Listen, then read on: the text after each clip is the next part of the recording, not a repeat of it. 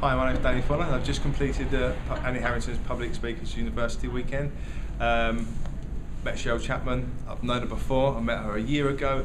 Fantastic coach she's become. Helped me out loads. I've, I've struggled, struggled big time. Um, but I've managed to complete the whole four days. Cheryl's really, really helped me.